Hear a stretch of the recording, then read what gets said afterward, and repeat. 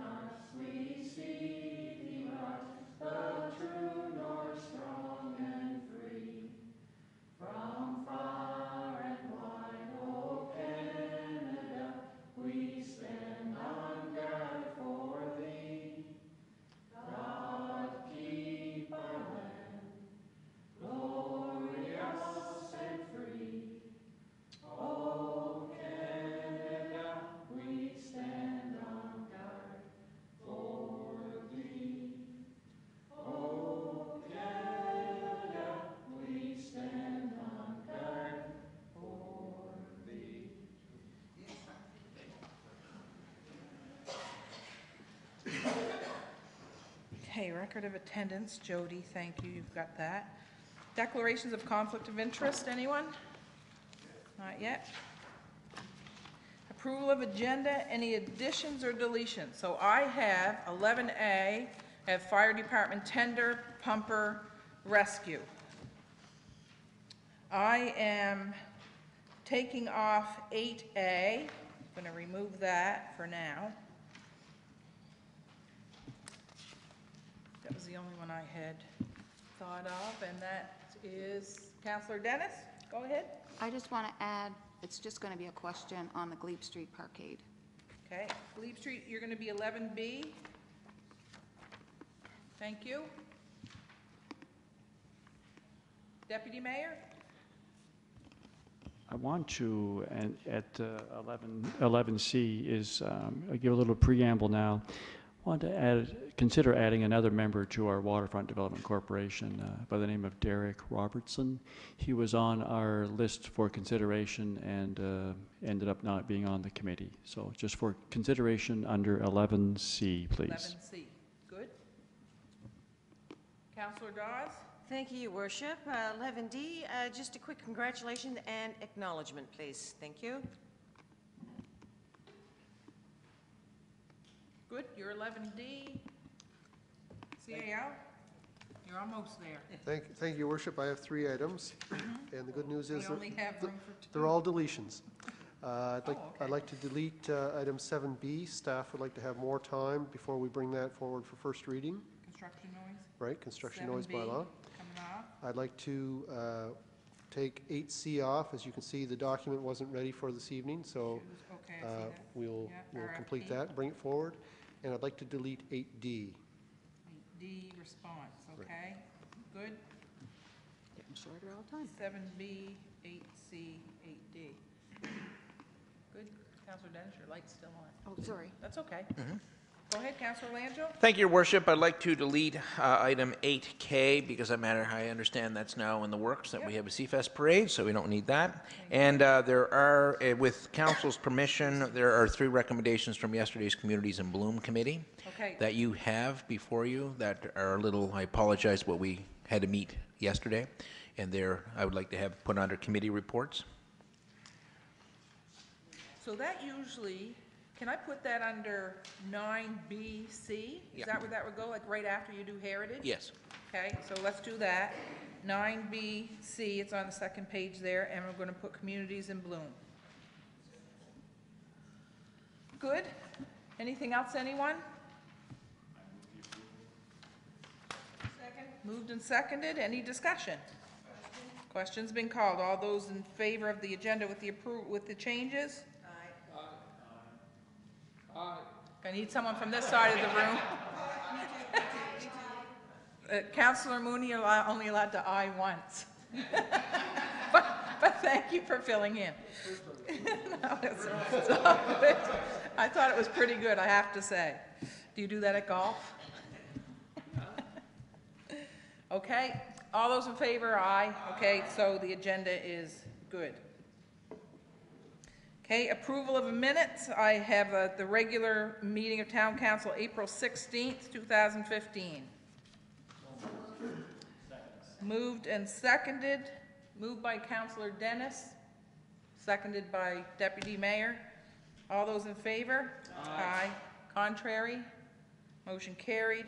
Committee of the Whole, April 21st, 2015. So moved. Counselor Mooney, second Councilor Dawes. Question. Question's been called. All those in favor? Aye. Contrary? Motion carried. Committee of the Whole, April 23rd, 2015.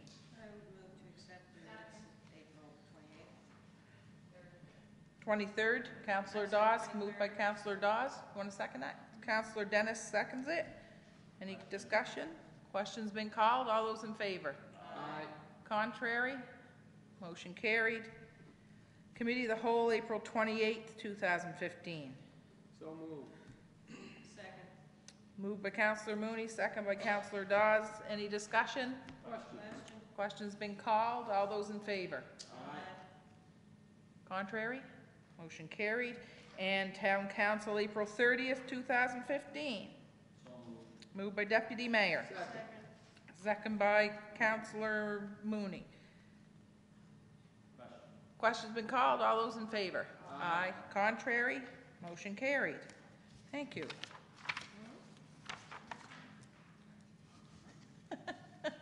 Thanks, Counselor Dennis.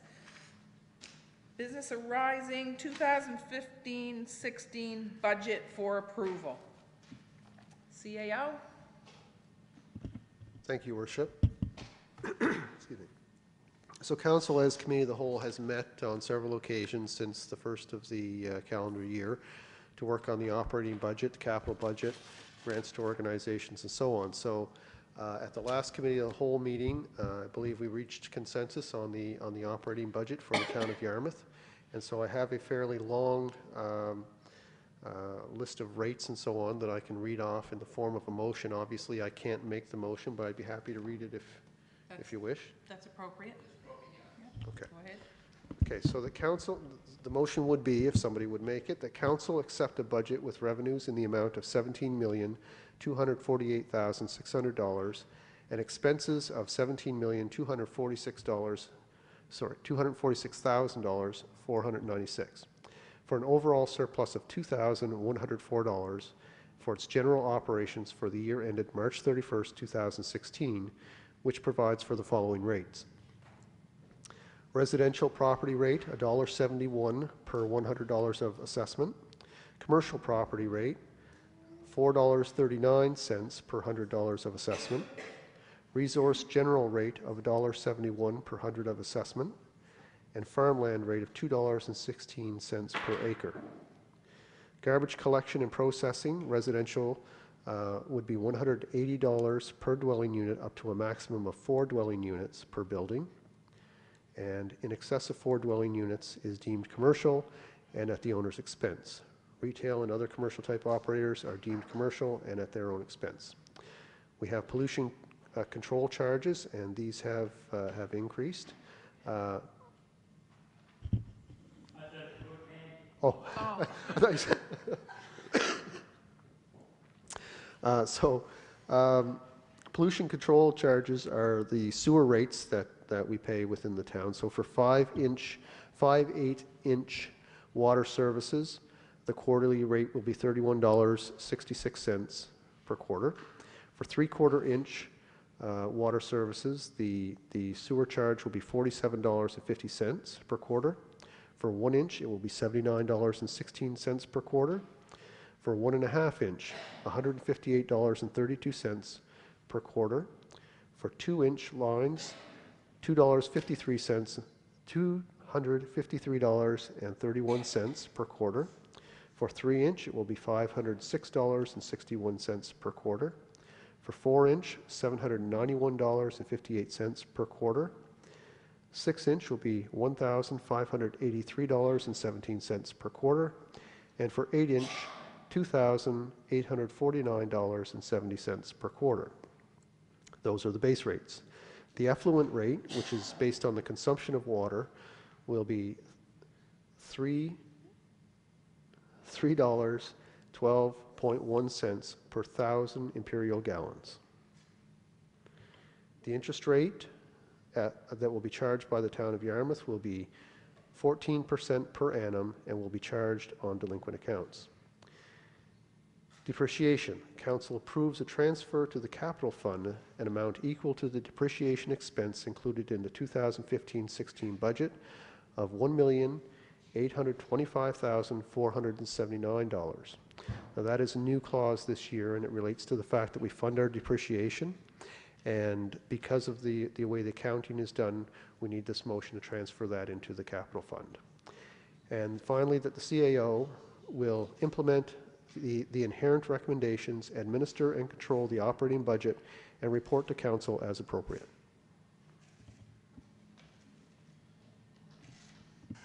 Councillor Landrill. Thank you, Worship. Um, I'd- I'd like to make that motion, please, to get it on the books, then I had a quick question for the CAO, if there's a seconder. Seconded? Thank you, Worship. Um, Mr. Gushue, just uh, for those who are watching, what would the impact be to the average residential homeowner and commercial homeowner? Where are we, with that rates, are we looking up, down? I know the answer, but I think for the benefit of those watching, because there's a lot of numbers there. Sure, absolutely. So uh, there will be no uh, increase, uh, we, ex- we expect, um, on average, to, to residential or commercial. The only changes, sorry, uh, uh, in the tax rate, we've seen the tax rates for residential and commercial come down.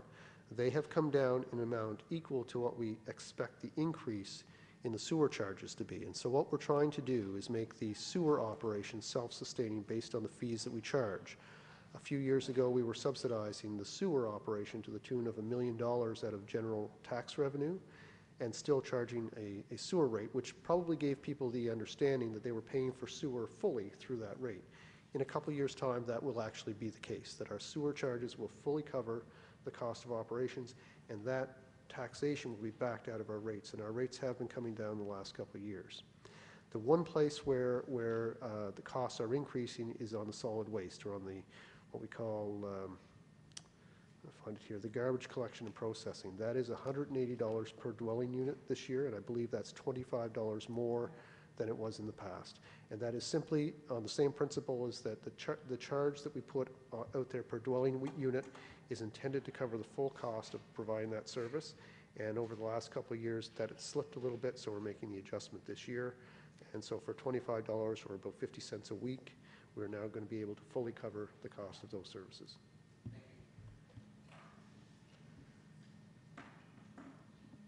And thank, thank you, your worship. Maybe we could get the CAO to explain funding depreciation, please. So, um, in, in I think, I, what I hope are the simplest terms, um, our depreciation is, is a calculation we do of our, what we call our tangible capital assets. And that is our buildings and our, our vehicles, equipment, our plants, and so on. They're our tangible capital assets. So every year, a building such as this, uh, we use up a year of its, of its useful life. A building like this, we might have thought would last maybe 40 years, useful life. So every year, we expense 1/40th of the original cost of constructing this building. We do that for all of our tangible capital assets, and it adds up to a little over $1.8 million per year. So what we do when we say we fund our, our depreciation is that in our, in our general tax rates, we collect enough money to replace that 1.8 million every year.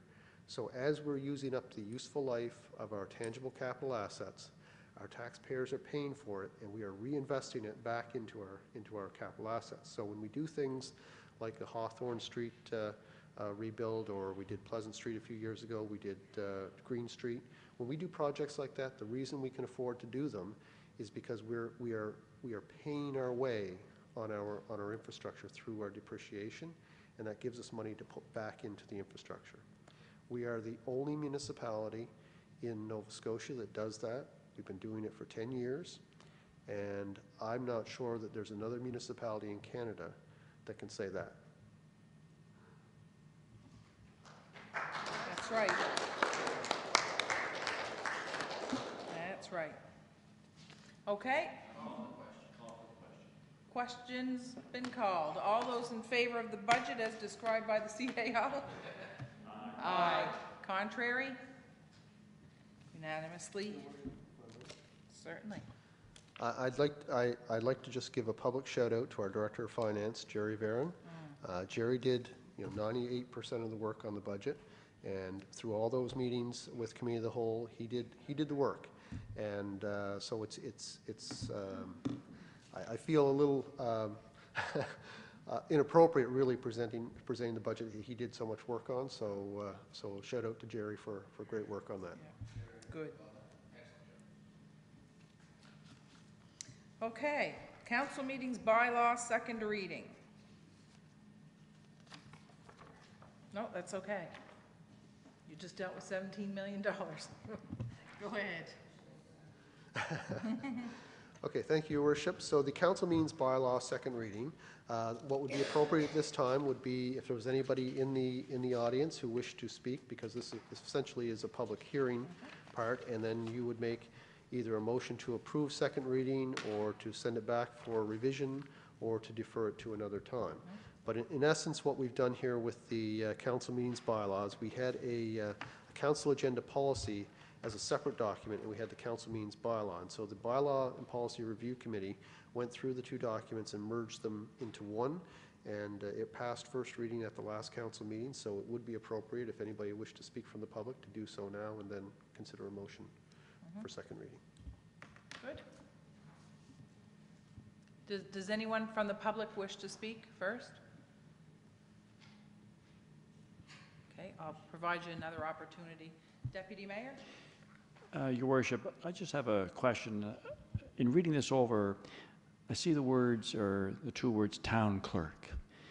And I wondered, uh, I'm not sure where they are, Jeff, in, in, in the nine pages here in front of us, but uh, is town clerk still appropriate? Thank you. Sorry, CAO? The, uh, the short answer is yes, it's still appropriate. Um, There are, under the Municipal Government Act, uh, there are, there are roles and responsibilities for the town clerk and the town treasurer and the CAO, and I wear all three of those titles and, and hats uh, at different times, I guess, under the, under the act. So it is still an appropriate uh, term. I'm going to ask the second time, would, would anyone like to speak from the public?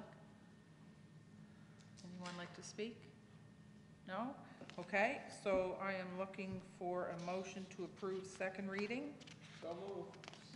Moved and seconded, any discussion? Question. Question's been called, all those in favor? Aye. Contrary? Motion carried. Building bylaw, second reading, same thing, go ahead, Uh, th- This uh, actually has come from staff, the the rewrite on this came from staff. We have a new building inspector in the last year, and uh, she reviewed the bylaws, suggested basically some housekeeping changes to it. I I don't believe there's anything more substantive than that, and so this is, again, second reading. So if anybody from the public wish wish to speak to it, uh, this would be the appropriate time, and then a motion uh, either to approve, uh, refer, or or to defer from council. Good. Would anyone from the public like to speak to the building bylaw? Anyone from the public? Third time, anyone out there want to speak to this one?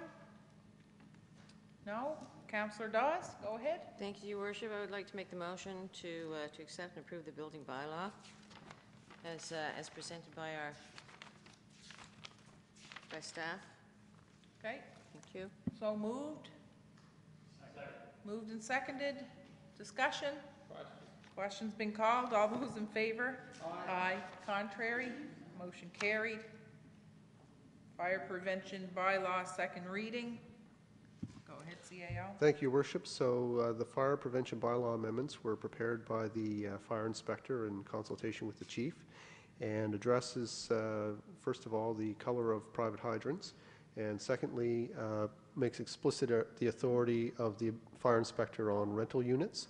And under that uh, authority, if passed, the fire safety inspection policy, which isn't on the agenda tonight but will come forward, and you've seen it before, uh, would allow for the inspection of, uh, of, um, of rental units. And our intention, as we've talked about before, is to, to inspect more units, more rental units, and to bring down the, the minimum number of rental units before they become eligible for expen, for inspection over time. Good. Anyone in the public want to speak to this right now? Go ahead, Councilor. Thank you, Worship. Uh, If the chief doesn't mind, if he could come up and explain the different color fire hydrants uh, versus the ones that we have in the town of Yarmouth, different color ones, if uh, you could give us that information. We Appreciate it. Yeah, there's, um, there's private fire hydrants and then there's uh, municipal fire hydrants. Municipal fire hydrants go by NFPA. Anything that doesn't, uh, isn't covered in the town has to be painted red and them are private fire hydrants. And we don't, uh, we don't um, maintenance them. Uh, It doesn't fall under me, it falls under Public Works, but we don't maintenance them unless they paid to be maintained. For our town, you've got uh, four main hydrants. You've got a red one, which is below 500. Then you've got from 500 to 1,000, which is orange. From 1,000 to 1,500 is green, and over 1,500 is blue. So basically, that's it. Do we have any red ones, private ones in the town of Yarmouth? We have, I don't know the exact numbers, uh, but we do have red ones uh, here and there, right? And also, you could have a, a higher colored one or a higher class one, if you will, uh, that may have an old main to it, and if the main breaks, obviously, it's not going to be the same color as it was before and things. Those would be, higher volume are usually in, the- in the more consumption, like if you have a business area or an industrial area, you'll have higher volume. That's normally the way the uh, system's put together, right? Yeah, go, go ahead, CAO. Yeah, I just, I, I just want to make clear a differentiation there that I'm not sure was clear. So a privately owned hydrant, and there are some on commercial pro- pro- properties, what this bylaw is saying is they must be painted red entirely. The hydrant colors that, that the chief went through, those are the caps that you see on the town-owned hydrants, and they, they, the color indicates the availability of water, how much water is available, which I think is helpful to the fire department when they're, when they're setting up to fight a fire. They, they can tell by looking, you know, is this, a- is this a hydrant that's going to give us a high supply of water versus maybe not so high? And, and your comment uh, about the, the red capped ones, I think those tend to be in, in older, older, smaller mains and Uh, parts of town that, that don't have the, the newer, bigger infrastructure. Yeah, Thank you, Chief. Okay, I'll, I'll ask again if anyone in the public wishes to speak to this. Third and final time, anyone like to speak to this? Okay, I am looking for a motion, either way. No? Wha- Whatever the, I need to know what the motion is. If it's, a- if it's a motion to approve, then, okay, as it is. Counselor Dawes, did you want to second that? I will second Okay, moved and seconded, discussion? Question's been called, all those in favor? Aye. contrary? Motion carried. You realize anytime anyone clears their throat, I'm thinking there's a light on that I'm missing. So, no, it's okay. Okay, minimum housing standards bylaw, second reading. Go ahead, CAO. Thank you, Worship. So the minimum housing standards bylaw had not been reviewed in its entirety for some time. Uh, The town staff, the building inspector, and the director of planning development uh, reviewed the bylaw and have suggested some, some housekeeping amendments here. And I think the most substantive change is I believe that we, we no longer, under this bylaw proposal, would be dealing with vermin. Okay, that we would no longer be responsible for vermin, and it's questionable whether we have that authority under the Municipal Government Act. One of the reasons that, um, What do you mean responsible? well, minimum housing standards, uh, what, where this comes in is if we get a complaint, and usually these are complaint-driven, uh, somebody says, I, I have uh, uh, some sort of of a vermin in, Okay. in my, in my place, what this says is, is that, uh, that you can't provide housing that doesn't meet a certain standard on these particular areas. So, um, as I said, it's questionable whether we have the authority to, to impose a bylaw with regard to vermin under the Municipal Government Act. And, and so what they looked at is, is where is our clear authority under the Act? Uh, This has been reviewed by Mr. Barrow as well, I should say. And what they're presenting back to you is, is what I think they believe is a, is a reasonable bylaw, an enforceable bylaw, and one that they, they clearly have the authority to, to deal with. So again, the second reading, so it'd be a chance for uh, the public. Would someone in the public like to speak to this? This is the minimum housing bylaw. Anyone out there want to speak to this? Third time? Would anyone in the public like to speak to this one? No? Okay, hearing none, I am looking for a motion. Counselor Dawes? Thank you, Your Worship. I would gladly uh, uh, make the motion to uh, to accept the minimum housing standards bylaw as presented by staff here on the agenda. So moved. It was, it- it's well done. Seconded by Counselor Dennis. Counselor Lanchel? Yeah, I was just considering this um, on the minimum housing bylaw, and I'm just wondering, a question for the CAO. The bylaw as it is coming in, what effect will it have, generally speaking, on properties that are now existing? Is there any grandfathering built into this, or will this be coming in? So there's none? Good. Second question is, and this is my old bugaboo, we have passed regulations and bylaws in the past that are still sitting on a minister's desk. Have we got any indication when those bylaws and those regulations are going to be pulled off the minister's desk and maybe signed? Because some of them have been on the minister's desk for about four or five years now.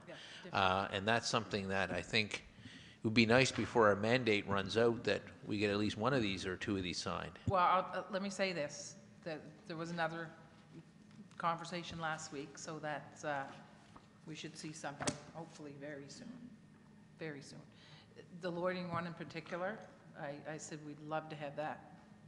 We'd love to have it before the tourist land, and that's in a couple weeks, so it should be coming soon. CAO. Yeah, no, I can tell you in the administration level that we had a uh, contact um, from the department uh, this week asking if we were still interested in having these regulations, uh, these bylaws registered under the regulations, and we actually said yes, all except for the helmet bylaw, which we've repealed, so uh, that, all, all except for one, so um, the good news is that there's been a contact, at least it's on somebody's radar there, uh, and hopefully, you know, as you say, before the term is done, we'll, uh, we'll get that bit done. Yeah, go ahead. Thank you, Your Worship. Uh, Just a supplementary, um, so do these, help me with process here, so the minister can sign up, but do they have to go to the legislature?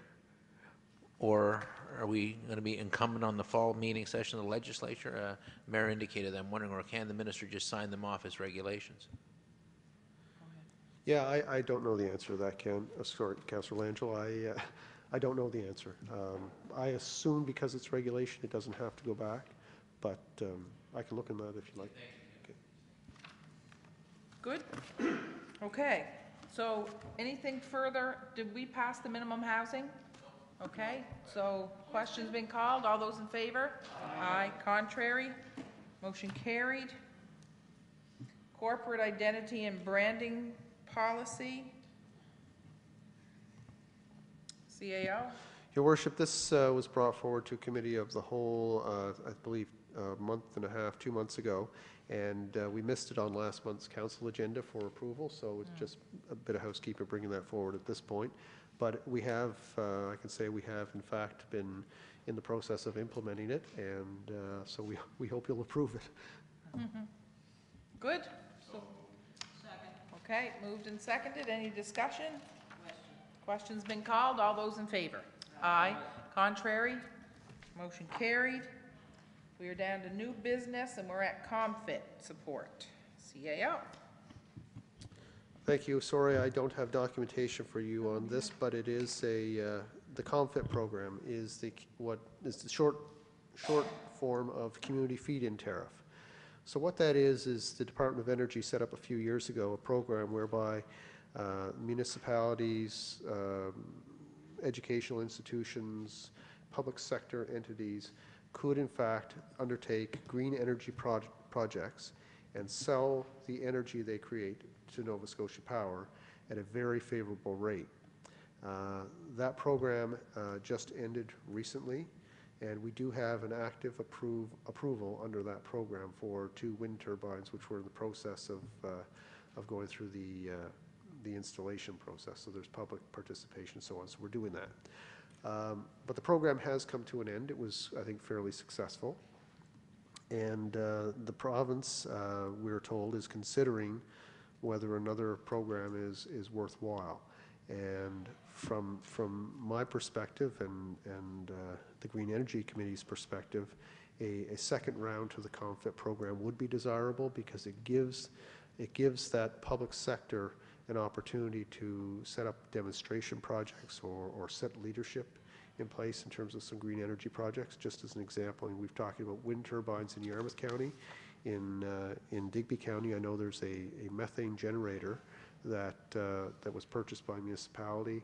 It's, uh, it's set up in a cooperate, cooperative arrangement with the mink industry, so basically using mink waste to generate methane to burn and create electricity. So there are all kinds of, uh, of projects like that across the province. That would not happen, we would not get into that business if it weren't for the COMFIT program. And I think the COMFIT program uh, is, is an appropriate way for government to, to work with quasi-government agencies to set leadership on green energy across the province. Uh, There is also always uh, programs for the, for the private sector to, to do projects such as wind farms or solar projects or what have you. But in the absence of a COMFIT program, uh, it probably is not the business that municipalities and universities and so on should be into. But with that program, it is a unique opportunity.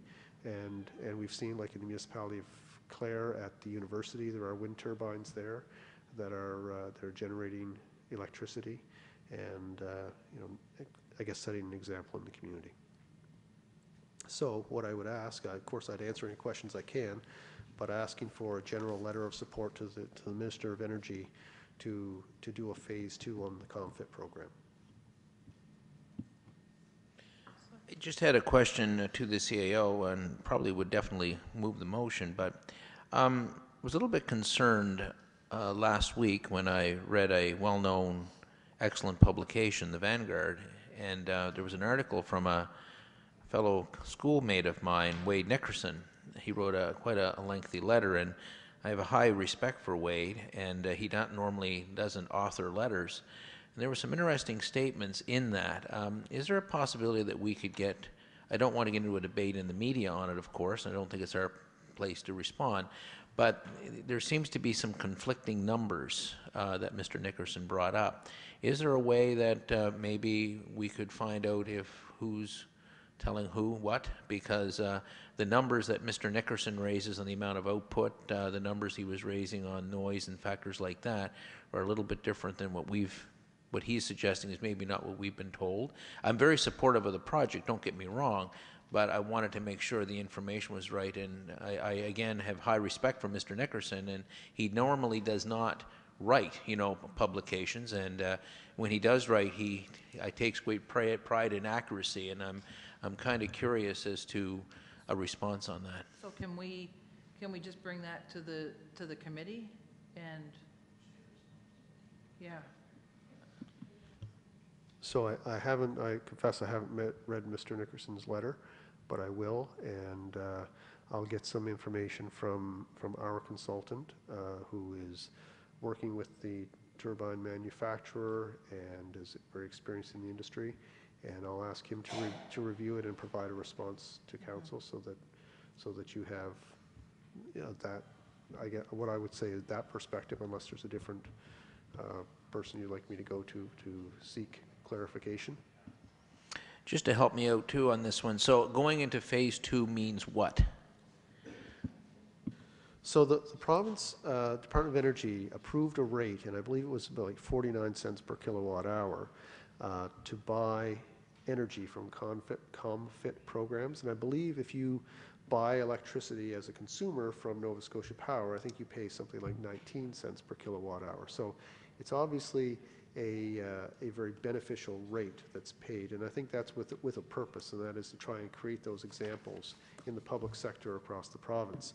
So the program was open for, for a limited number of years and for applications, and just recently it, it closed. So they're not receiving any further applications.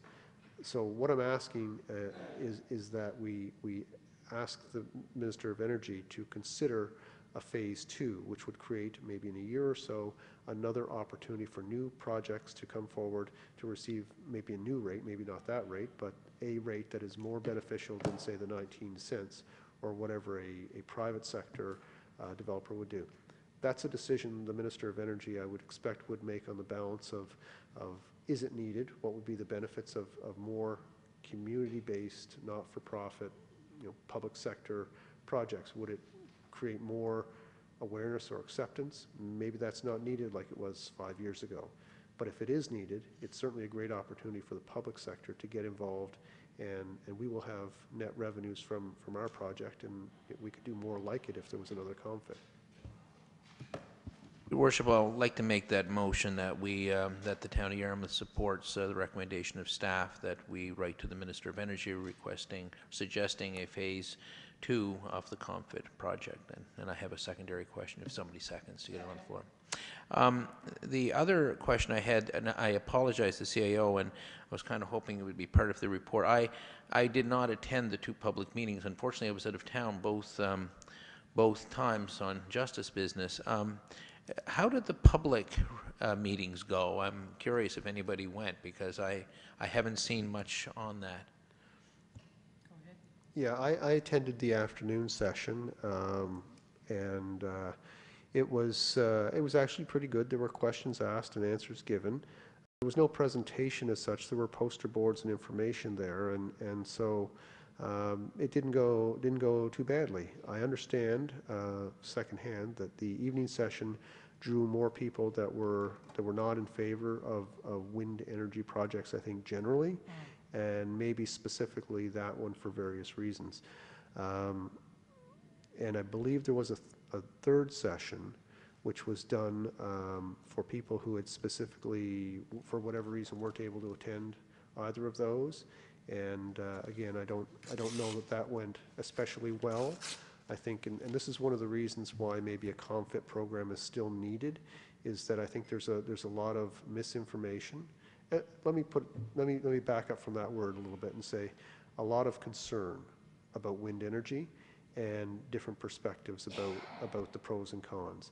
And what a ComFit program does for communities is allows where there is acceptance and where there is a will to get some community benefit and to put a demonstration project out there. So where this one goes from here, um, you know, that, that is yet to be determined. Um, And I guess I, I could end by saying that if you would like to have a, a brief uh, from uh, Neil McKenzie, Neil uh, uh, chaired those community sessions. Uh, I'm sure he'd be willing to provide you with a brief summary of, of what went on there. Probably do that at committee of the whole, pass.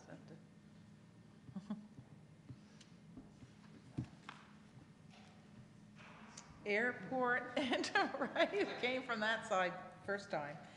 Airport intermunicipal, oh, did we vote on that?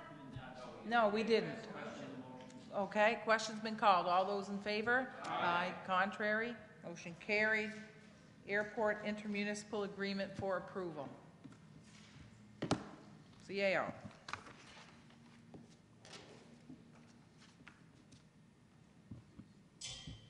Oh, Counselor, did you have, your light's on. Mine, but I'll, I'll wait, I'll wait, uh, your worship, to see what Jeff has to say, and, uh, I, I sit on the airport commission, so I just want to see what he has to say, and I- I'll ask the question, and then he, he can throw it in his answer. Uh, I read some of the report, I didn't read it all. Are you comfortable with the report as it's, as it's presented? Do you have any uh, concerns? Is there anything that with this council or any of the other councils, we can only speak for ourselves, should be worried about? It is up, I think, eh, we're, uh, this month or September, or is it already up now? It's already gone now. Okay, so I'll, I'll just wait to see what you have to say. Great. Okay, CAO? So we had, an- uh, we have an intermunicipal corporation based on an intermunicipal agreement that expired March 31st. And we, we agreed uh, to renegotiate, to create a new agreement. It was clear, uh, although there were, there were concerns about the airport and the funding that goes into it, uh, it was agreed that we would, we would work towards an agreement to continue the partnership. So uh, the three municipalities of Yarmouth County, uh, there is, there is a- an agreement there, and Some will recall that we had a meeting in Hebron to work out some of the last details that we felt uh, as CAOs needed, needed uh, a conversation between the elected officials of the, of the three units to arrive at ultimately what, what the right percentages for funding and so on were within the agreement. Uh, That was a great meeting, I thought. I thought there was a lot of sharing of, of, um, of um, perspectives. Not everyone necessarily agreed on everything, but you know what? When we can get together with our municipal neighbors and we can laugh and we can respect one another and we can work on an issue that we, we don't agree on and ultimately reach a, reach a consensus, I think that's, that's a sign of a, a very healthy intermunicipal relationship. So the new agreement is a four-year agreement, and uh, it is so for, with, with intent. Uh, Four years brings us to the same point in the next council's mandate to make a decision about the future. It is not a 10-year agreement, uh, and that is, that is intentional because we, we understand that the, we understand that the, the airport uh, is, is almost at a crossroads. And we, it is a, it is a huge asset to our community, to our region, to the province, but it is underutilized. It is, and it is misunderstood in some regards. It is viewed as, as an economic asset, but it is a so- social and cultural asset. Social in the sense that the life flights, the 20-some life flights every year that come in and use that airport, have a value that you can't put a number on. When you think about the lives that may be saved in our community, we don't know how many would be saved without it, but do we want to take the chance that without the life flight, a fixed-wing aircraft being able to land here, that, that somebody that we know wouldn't make it because that airport wasn't open? It is also important to supporting our, our largest industry, which is the fishing industry, with the, the search and rescue and so on, that, that is able to access the, the, uh, the resources of fueling, landing, whatever at the airport. So it, it's an important asset, but the infrastructure is not getting any younger, and we cannot afford on our own to maintain that infrastructure. And so with the four-year agreement, it is understood that we have to find an appropriate partnership with other levels of government to reinvest in the infrastructure at that airport, or it will not continue to exist for the long term. And that would be a shame for, for the community and for the province. So that is, that is a, a task, and I can't, I can't say strongly enough how important and how, how important that, that aspect of it is. So a four-year agreement, the percentages have changed a little since the last one, but not a lot. And we have put a cap on the funding, which is also a message to the, to the airport that there is not a, uh, it's not unlimited. We have uh, so much money that we can invest in this, and so we're, we're, we have to live within our means. And that investment is not enough to replace infrastructure. So yes, to answer your question in short, I, I think it's a, a good agreement, and I think it's an appropriate agreement at this time.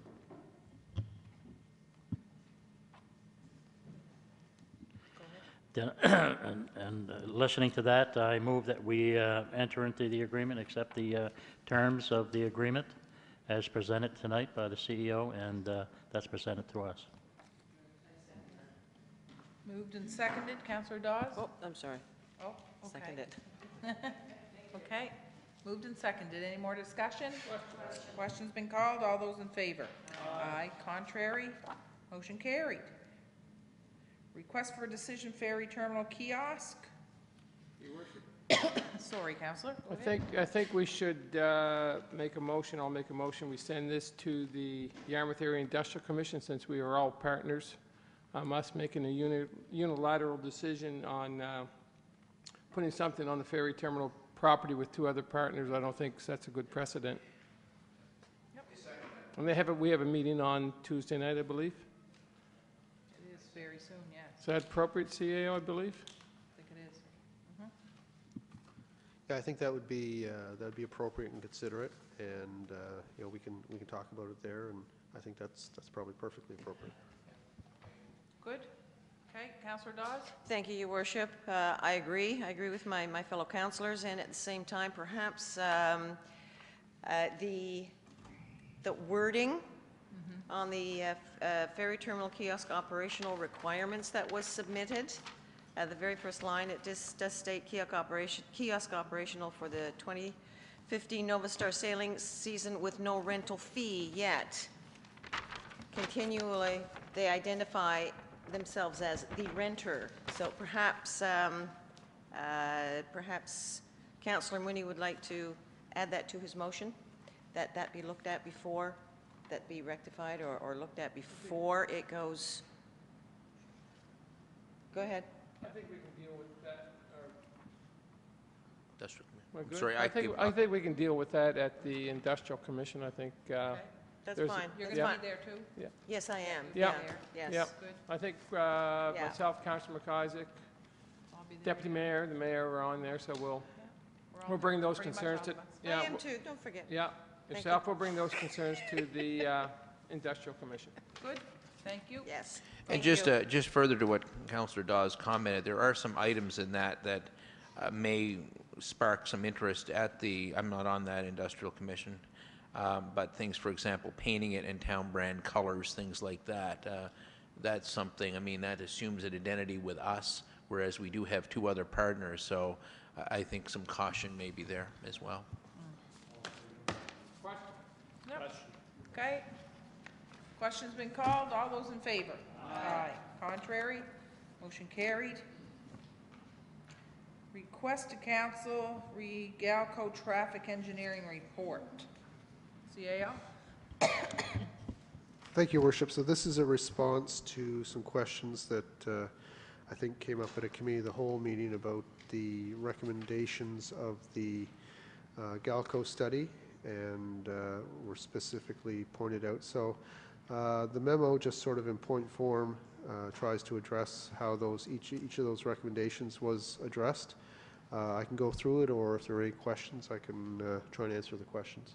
Yeah, we can go, we can go with questions. Did you have a, go ahead? Well, I read the, I- of course, this has been, we've discussed this already, I believe, at Committee of the Whole. Um, And uh, again, uh, there was quite a bit of interest as a result of what's happening there. Um, In conversation with various truckers recently, the horse fountain itself is really not an issue um, in Milton uh, because it actually uh, can stay pretty well where it is and probably should stay because it's not a, an impediment to the trucks moving. The issue seems to be the median. And uh, this mystery median that appeared, and I use the word mystery because I can't find anything in the study where it says that we should build a median. However, the only thing I did notice was on page nine, and I did send council an email on it dated April 14th, uh, and a quote from page nine, "The new median on Vancouver Street offers more protection to the horse monument than previously existed." And this is the part that really concerned me. And the consultant is saying, however, its presence in a busy intersection can never be considered beneficial to either vehicular, pedestrian movements, or traffic safety. And that, that really stuck out with me. And um, I don't know, I, I'd like to see us take that median out of there. Because to be perfectly honest, uh, in talking to some of the truckers, that's the main problem they're having, is getting around there to move that median out. We're having, and maybe other, I know at least a couple of people around this table have echoed my comments. I'm seeing people going up the wrong way to beat the median. And, uh, I'm wondering if, uh, and I, and I, I just, we, I didn't get an answer the time I brought it up with uh, Mr. Ernst, our traffic authority, that why was it put there? And in talking to residents in the Milton area, none of them really want it. Communities in Bloom, our committee see it as a garbage collector because every bit of litter that possibly blows through Milton ends up in that, in that median. Um, and it's, it's an issue. So I'm wondering if CIO would comment on that. I, I, is it possible that we can take that puppy out of there? Did you want to, do you want to answer that, or do you want Counselor Dawes to? No, no, Wait. go Keep ahead. your light on, no? Okay, go ahead, CAO. Yep, the median was introduced uh, between the two studies, uh, and it was not to protect the horse. It was to, to help to regulate the flow of traffic through that awkward intersection. Uh, And it was to, to prevent uh, people coming through the intersection and taking a left onto Water Street, or people coming up Water Street and taking a left up Forest. Those were the two, uh, and sorry, the third movement was coming down um, Vancouver Street, thank you, and taking a left into the Irving. So those three maneuvers very close to the intersection, uh, creating what we call the five corners, uh, were, were undesirable. Up until the point that the median was there, there were signs that told people not to make those moves. And of course, excuse me, the signs had no, no serious impact on, on people's habits that had generated over, over many years. Um, And so between the, the previous traffic authority and Mr. Ernst, who was then the traffic authority, and the town engineer, a decision was made to, to introduce that bit of infrastructure to solve those, those three movements that created problems in the intersection. It, it itself probably does create um, a, an irritation to people who are used to making those three maneuvers and can no longer make them. I think we heard that uh, ever since it was introduced, that some people who used to go up Water Street and take the, take the left up Vancouver uh, miss that. Um, However, from the traffic control side, I think the traffic authority would say, and I don't want to put words in his mouth, but the, the slight irritation and slight inconvenience that that causes is outweighed by the, by the functioning of the intersection as a result of, of the presence of the median. Now, does it collect garbage? Yeah, sometimes it collects garbage. Uh, Does it create a problem or, or an issue for trucks? I guess I've watched a truck uh, ride its wheels up on the curb there, and uh, to the degree that that's a problem, I guess it creates a problem. Um, But I, I guess to your question, can it be removed? As the counselor uh, to, to your left indicated, anything can, anything can be done. Um, The, the question is, is what, what are the cost benefits of, of doing that? And it was not a decision that was taken lightly. It didn't come from, from Galco. Uh, And it is not a decision that hasn't been without criticism from day one. But uh, from a traffic management perspective, uh, given the configuration of that intersection, it's, it's, I think Dave still believes that, that it is the best thing for overall. Thank you. Counselor Dawes? Thank you, your worship.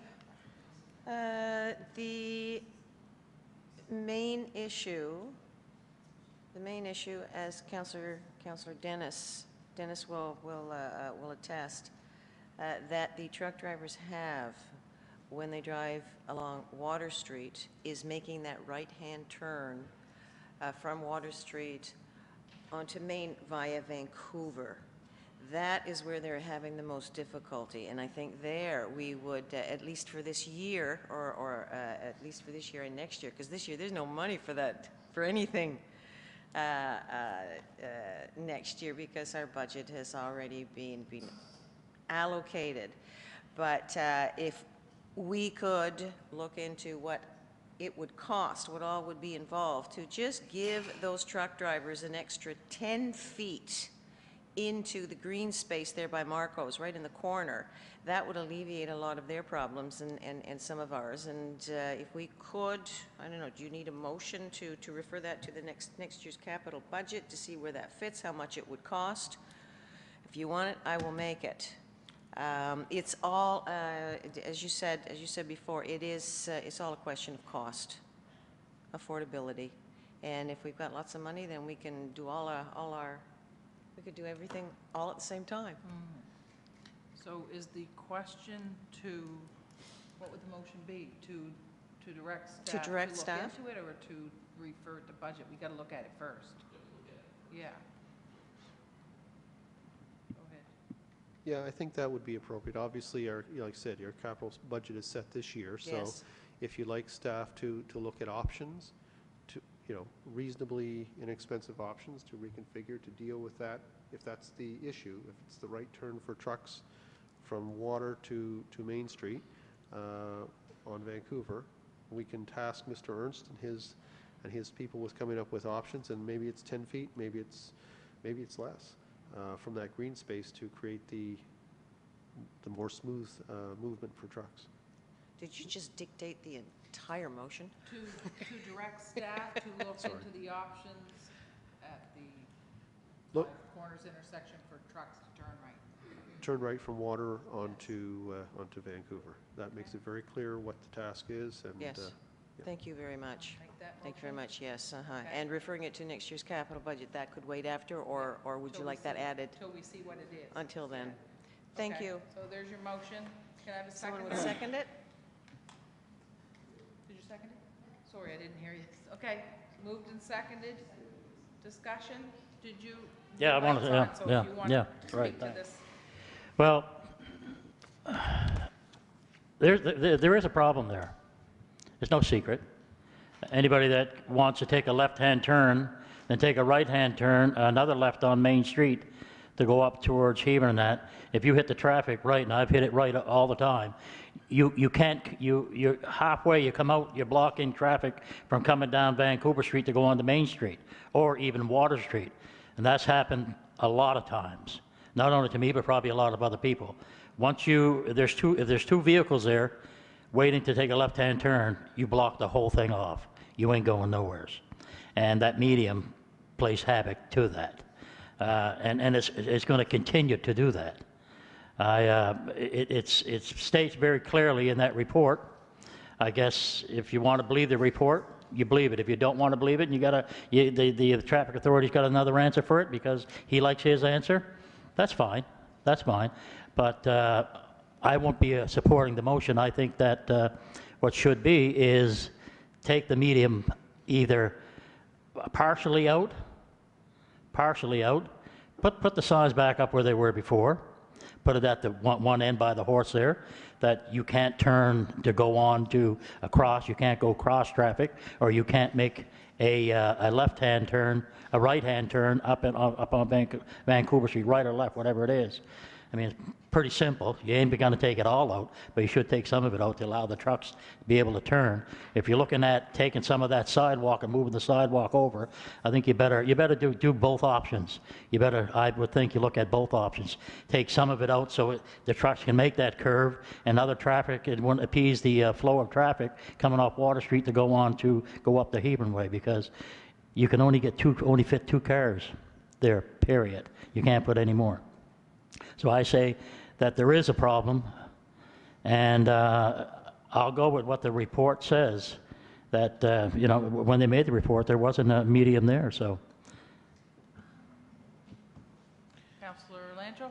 Thank you, uh, Your Worship. Um, Hearing what uh, Councillor McIsaac was commenting, there's a couple of comments there. Number, number one, I think as the CAO pointed out, the median uh, appeared between the two studies. There were two studies involved, and that's where the median kind of crept in between the two.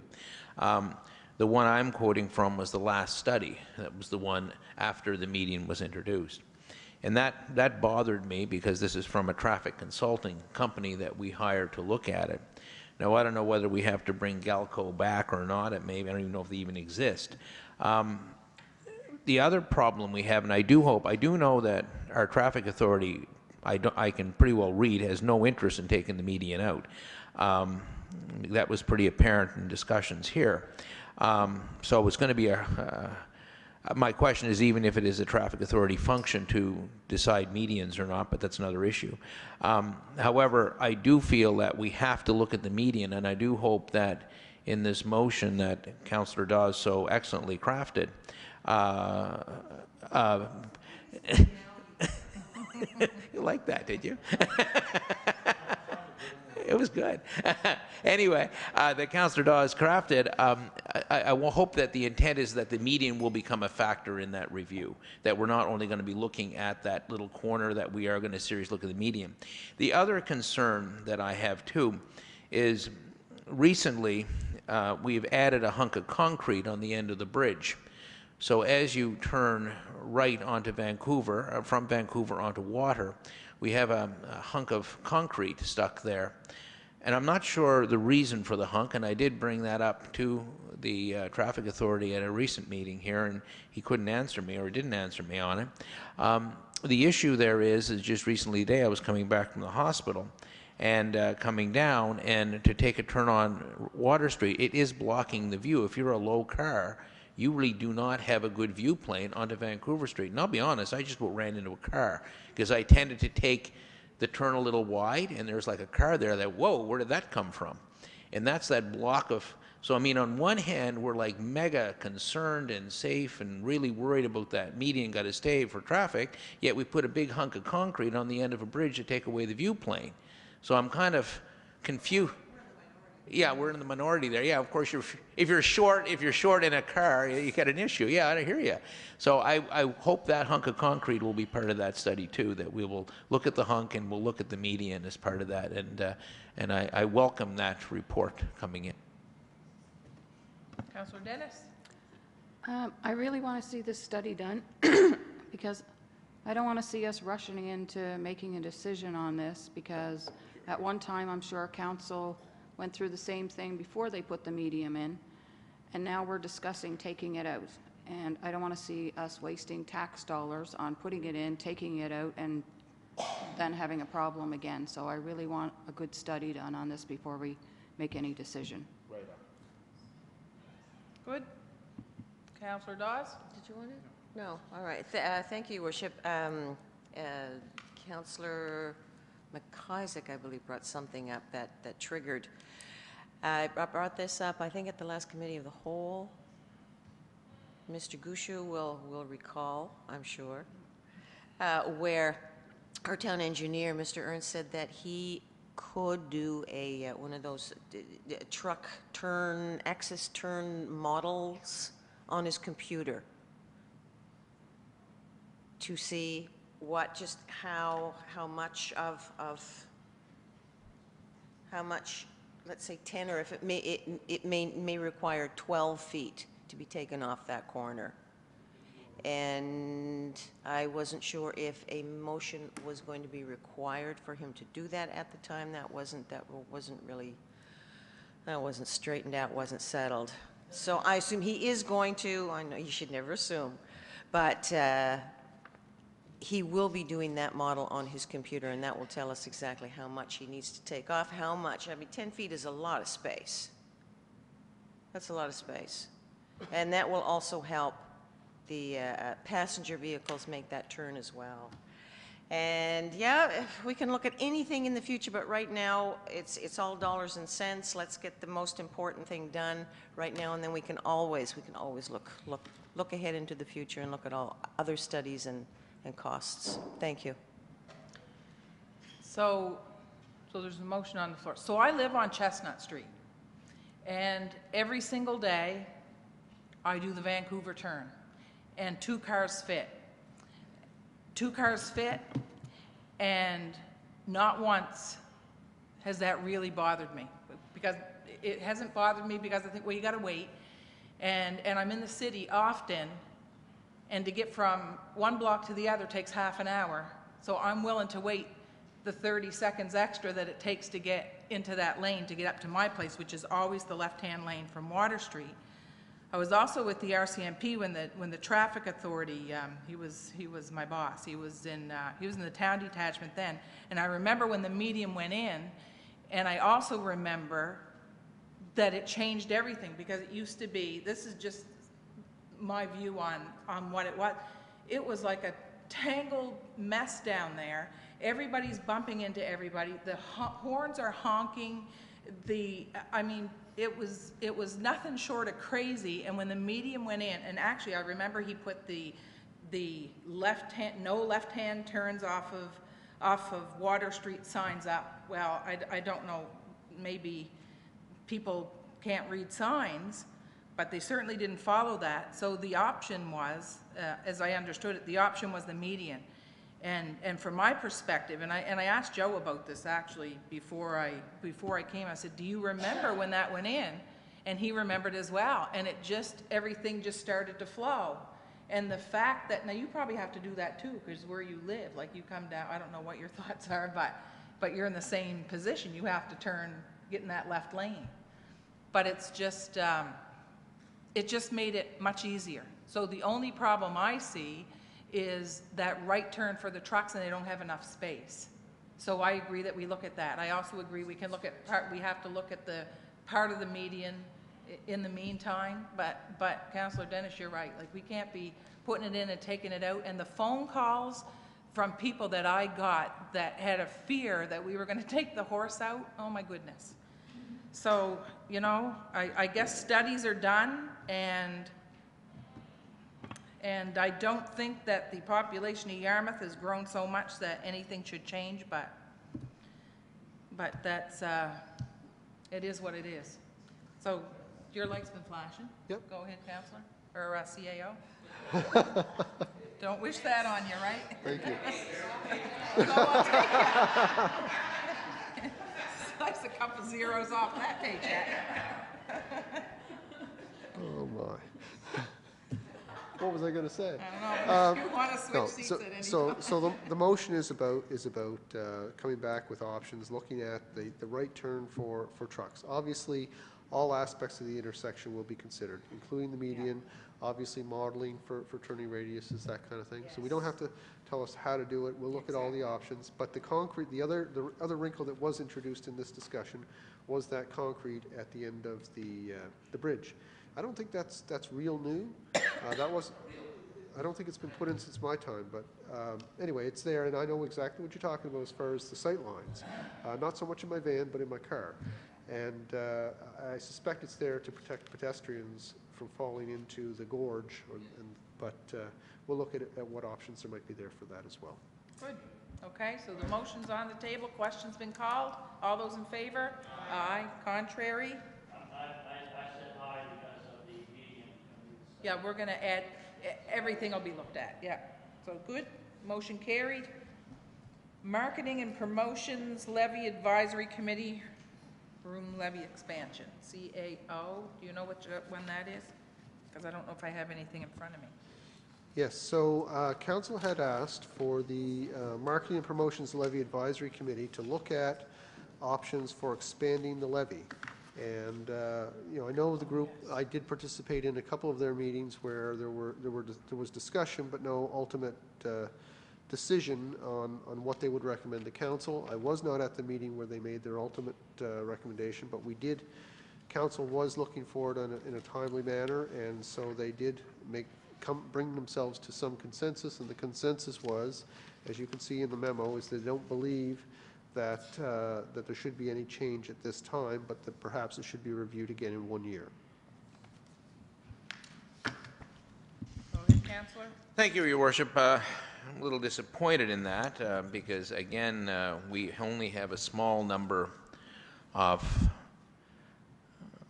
shall we say, hotels, motels in the area that are supporting the room levy, whereas we have a number of other um, institutions, shall we say, or facilities uh, that also have rooms um, that benefit a lot from what the room levy is doing was not there, but that's water under the bridge. But I, I, I do, uh, am glad that they're going to be reconsidering. I would like to find out eventually uh, the rationale they use for not changing it. Um, uh, I think that would be something that'd be interesting, not to drag this out tonight, but I, I would uh, ask the CAO maybe if a request could be made to Mr. Allwright, who I guess is the administrative support, whoever the Grand Poobah is.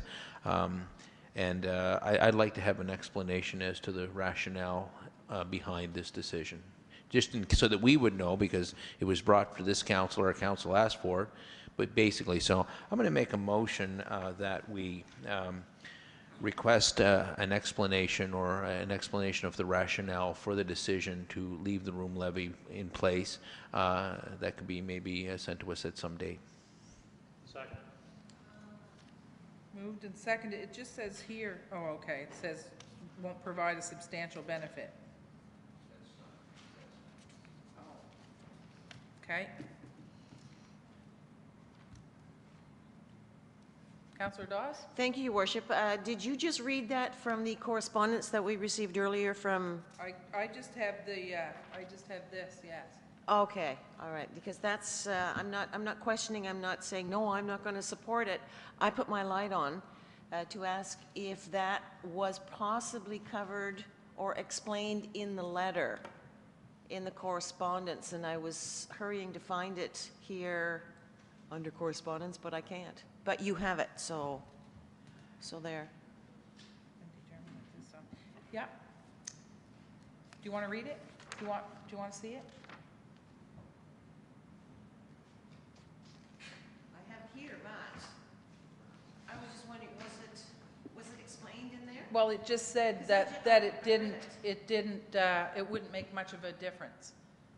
Go- and these are people in the industry? That's, that's the room levy group. So they've been discussing it. It says they've been discussing it off and on for quite some time.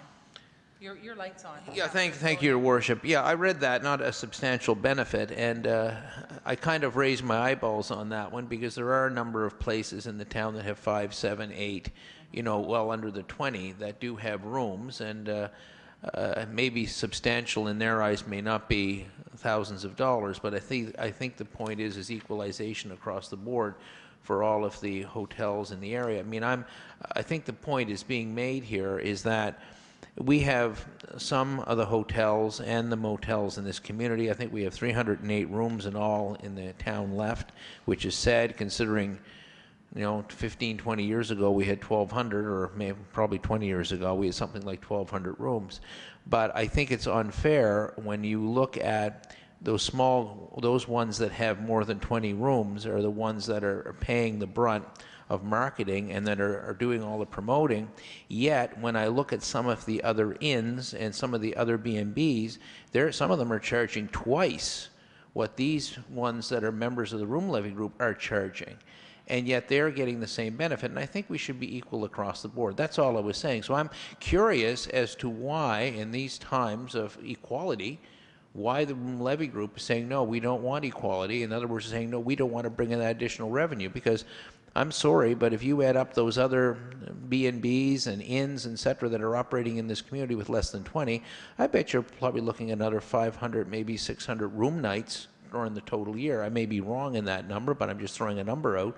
Well, heck, that's a few thousand dollars, and that's money that could be going to promote in Market Yarmouth, and I think that's something we want to do. So that's why I would like to get a better explanation. That's all, Your Worship. I don't know whether that helps you, Councillor Dawes. Does that answer your question? Help me. It, well, it helped me because, well, well, no, because, uh, because if there's not, if there's not a lot, but it's, it is equalization, and there are quite a number of rooms too. There are quite a number of rooms. Yeah, CAO. Uh, Thank you, Worship. So if the motion passes, then we'll pass that on to the uh, advisory committee. But I will, in addition to that, I will make sure that you're aware, that you're all aware of when their next meeting is. And it might, it might expedite the, the whole discussion if, uh, if some of you were present and actually had the dialogue with them when they're, when they're talking. I think you'd get a very clear idea of what they're thinking. And again, I apologize, I wasn't at the meeting where they made this ultimate decision, so I can't shed, shed much light into how they came to that conclusion, but uh, a face-to-face would probably help answer all the questions. It's, it's true, when you, when you explained, it, it helps. It does, it makes it clear. Counselor Dodge, you're on. Ah, thank you, thank you, Your Worship, and thank you, Mr. Gushue, because that's what I was going to, that's what I was thinking when I read this. These are the pros, they know what they're doing. Uh, They're making their recommendation. Are we, g- uh, I trust in them, however, if we have any questions, I'm sure that they would at any time say, yeah, here, we'll explain it to you, or you're more than welcome to, uh, you're more than welcome to come in and sit in and ask your questions. So, thank you. So, was there a That's what I was going to suggest. We, c- we could, in, Yeah. Okay, let's, what was the motion? Okay, good. Question's been called?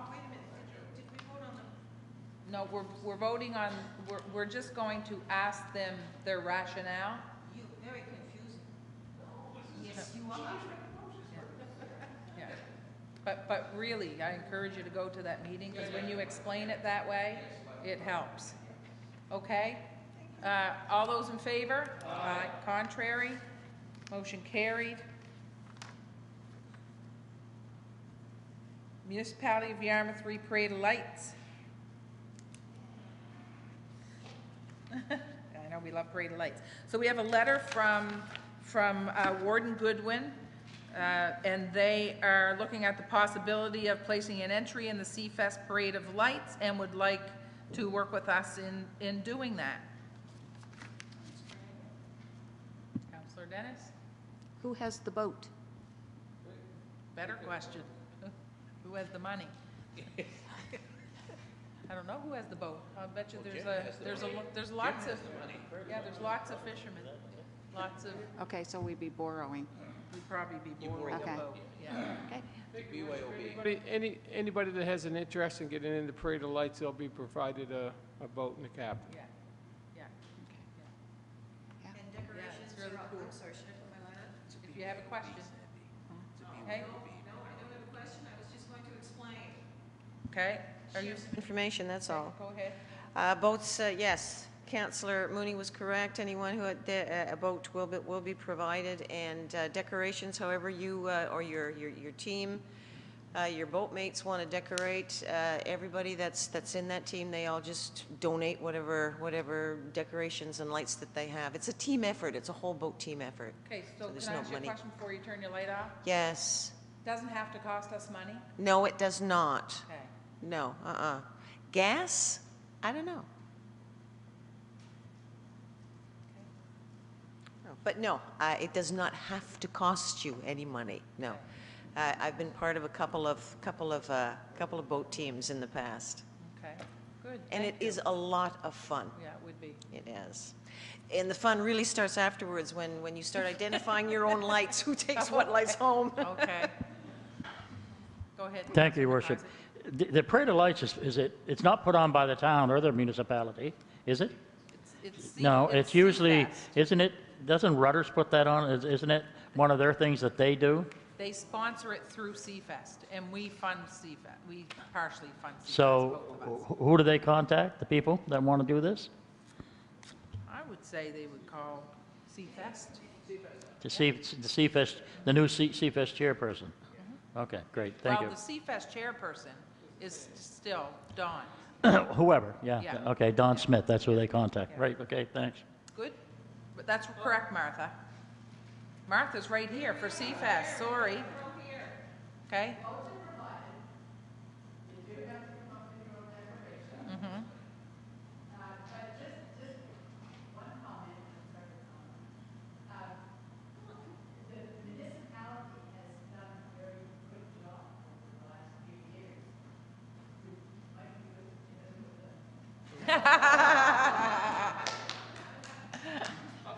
Okay. Yeah, Counselor Dawes, Uh, Mr. Mooney? did you have a? Counselor Mooney, I think his light was on before, No, before it mine. wasn't, because you're, they No? go on in order. Oh, all right. Well, if, uh, if, if all discussion, if all discussions are are overdone, everyone uh, agrees, then I would make the motion to accept uh, the invitation of the Warden Murray Goodwin's invitation to, uh, to collaborate with the municipality district of Yarmouth in this year's Seafest Parade of Lights event. Okay? Moved and seconded. Oh. Discussion? Did you like that one? Did I pass? Thank you. Yeah, Okay. That's good.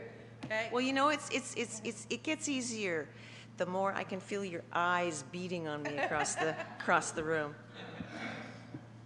That was, that was close to perfect. Question's been called. All those in favor? Aye. Contrary? Motion carried. Woo! Okay. What's that? Who- Whoever uh, will send a note out, I'll talk to the warden and then see when they want to meet, and I'll send a note out, and whoever wants to go. Jeff and Jerry. Yeah, that's right. Budget's done, Jeff and Jerry. Jeff and Jerry, you've got nothing to do. Your agenda is wide open. Oh, my dear, help us. Yarmouth? Yeah. I've seen your office, you're not decorating anything. Okay? Should I say that in public? Yarmouth Facade Society request for amendment. CAO. Your worship, this is a request from the society that is administering the facade program for the town. And what they're looking for is, I'm just bringing up the document, they're looking to, to amend the eligibility. And so the facade society, that the society applied to the town of Yarmouth for an amendment to the memorandum of understanding to allow for inclusion of any portion of the building that is predominantly visible from Main Street. And so they're, they're talking about facades of, of corner, of corner buildings, and they've listed a few examples here, the shop, city drug, et cetera, that have a significant sidewall facades. And so this would not affect the maximum eligible funding of those properties, but would allow them to use some of the uh, mon- money that they could access through the town to do a second uh, predominantly visible uh, facade of the building uh, that they have. So they're asking that they be allowed to do that, that's for your consideration. Okay, so I, I completely support this. Have you seen the wool shop? It looks awesome. It's so clean and bright, it just lifts the whole corner. And you can't just paint the facade when you're on a corner like that. You really can't. You could. Okay. Okay, moved and seconded. Oh, Counselor, questions been called? All those in favor? Aye. Contrary? Motion carried. Okay, that one's out. Council Advisory Committees, Committee of the Whole, Deputy Mayor. Excuse me. Go ahead. Uh, From the motion from the Committee of Whole, April 23rd, 2015. Um, This is the first of 99, no, no, this is number one. I move that Fay Allen be appointed a member of the Communities in Bloom Committee. Moved and seconded, discussion? Question. Question's been called, all those in favor? Aye. Contrary, motion carried. Okay, uh, we have Citizen Advisory Committee, Planning Advisory, Deputy? Um, From a public hearing of earlier uh, this evening, I move to amend the land use bylaw to remove the split zoning of 79 Main Street from low-density residential and secondary commercial to secondary commercial as outlined in Caroline's report. Second. Moved and seconded, discussion? Question's been called, all those in favor? Aye. Aye. Contrary, motion carried. And we have, okay, the next one there, Deputy, is, I um, have a recommendation from the public hearing January 8th. January 8th here. Yep.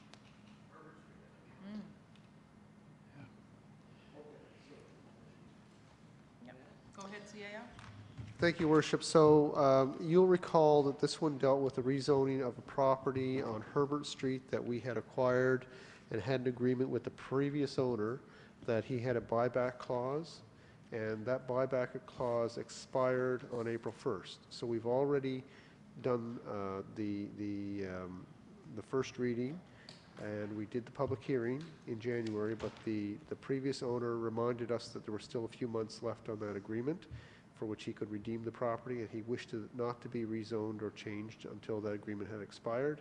The agreement is now expired, and so we're bringing it back to the table for your consideration. It- It expired as of April 1st. So um, Yep.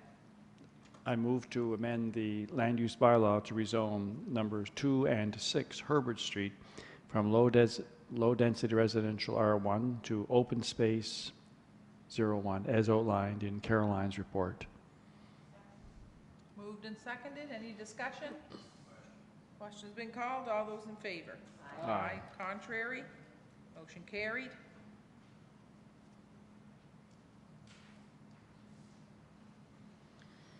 Heritage Advisory Committee, not 90 Water.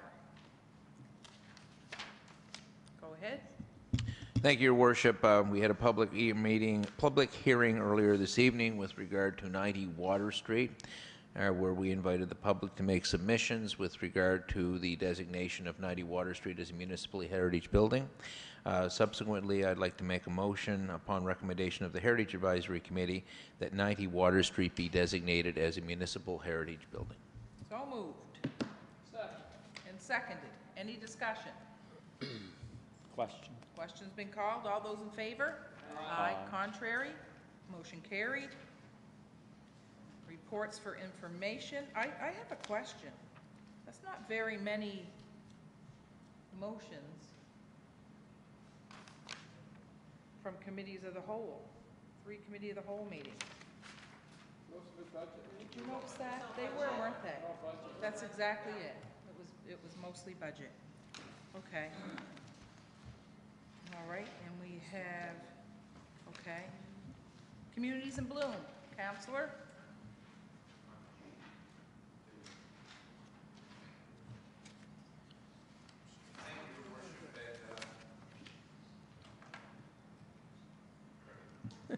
Thank you, Your Worship. Um, We had a meeting of the Communities in Bloom Committee yesterday, and I apologize to council, we were kind of close for the same reason because of UNSM.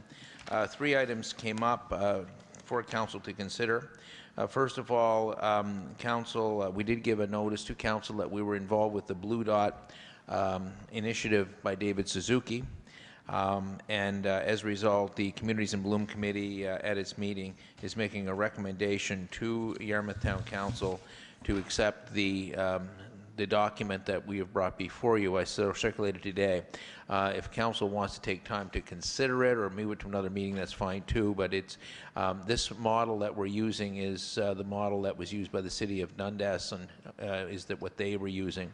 Uh, So far, there are 28 municipalities across Canada that have endorsed this. Uh, We would be probably the first in Atlantic Canada, I believe. Um, Basically, um, the resolution that I would like to move, that the Yarmouth Town Council endorse the following resolution and authorize our mayor to sign this declaration on behalf of council.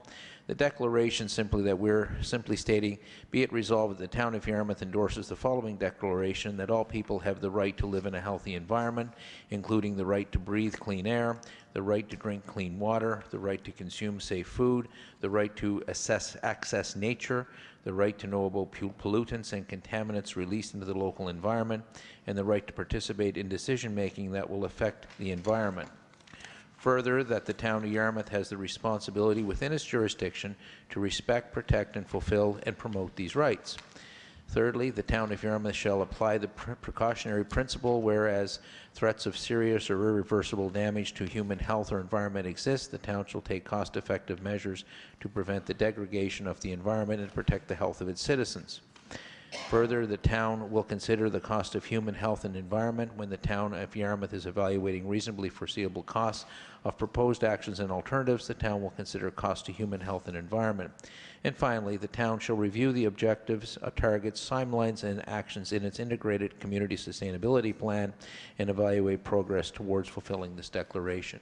If I have a seconder, Thank you, Councillor Mooney. We're doing pretty well all of this now, uh, and I think CAO can pretty well comment. We have a very good I- ICSP, the, uh, so it's, it's more or less reaffirming, and it's kind of nice that we do have this, uh, this work that our former planner did and staff have done on the Integrated Community Sustainability Plan, so it kind of goes hand in hand with that. So there's no financial commitment, there's no financial concerns, it's basically just putting a little extra support to what we've already done in our IS, ICSP. So that's the recommendation of our, of our committee.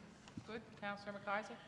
Thank you. You, uh, uh, Deputy Mayor had his light on first. It, it was, it's been on Oh, for a thank you. Uh, I- I'm I'm supportive of this, but I just got one question to Jeff. Has our solicitor looked at this uh, document? And if he hasn't, should he? I'm not aware that he has. I, I assume he reviews the items that are on the council agenda prior to the meeting, but as, as you know, he wasn't able to be with us this evening, so um, I can't say for certain that he has. He certainly hasn't communicated anything back to me to that effect. He hasn't communicated He it? has not communicated. Be- Has he looked at the document? I, I can't say for certain. So maybe, perhaps he, that's why he didn't communicate back, maybe. Uh, w- Would you think it would be fair for him to look at this document at, at first? I mean, it- it's, uh, I think we're all in agreement, but we have to do our due diligence, you know, around this table. So uh, I'd be more comfortable if he looked at this, and if there's, I'm sure it's, everything's good, but uh, we, we should do our due diligence, so.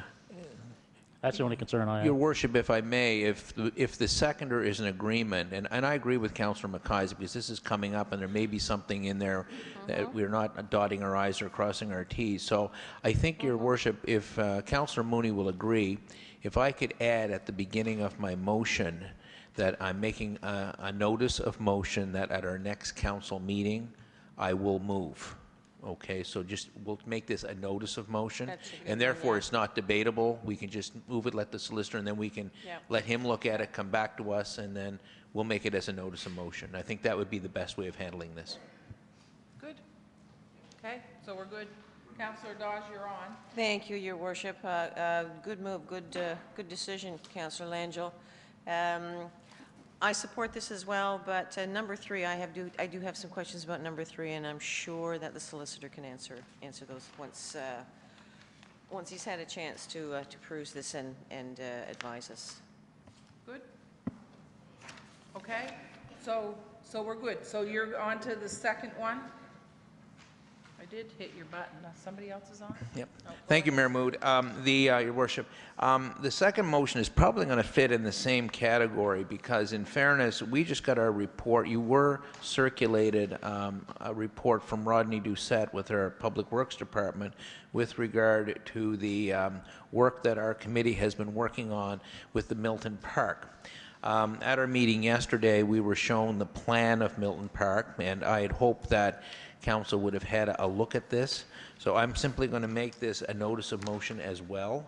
Um, And my, simply to advise council that at the June meeting of council, I will be making a motion upon recommendation of the Communities in Bloom uh, that the, that the town of Yarmouth receive the recommendations from the subcommittee on the new Doug Melanson Park with the understanding that it's been referred to the Parks Department and approval from Milton Improvement Society. What, what did you just, did you just say you're doing a notice? Of motion. That way, we can get, uh, Mayor Mood, uh, we'll be able to get the plans to council so they can see that plan, and we'll make sure that you'll have the details, because in, in fairness, it's kind of like almost a pig in a poke here tonight without you guys having the information you need. Excellent. Do you need a seconder?